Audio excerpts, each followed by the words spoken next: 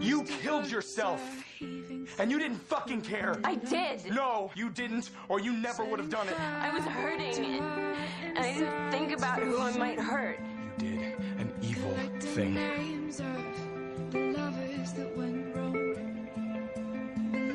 Get the fuck out.